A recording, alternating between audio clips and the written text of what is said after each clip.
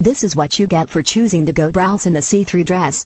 As already a previous victim of the double nip slip, Miranda Kerr clearly didn't learn from her past mistake as she yet again flashed a whole bunch of people armed with cameras.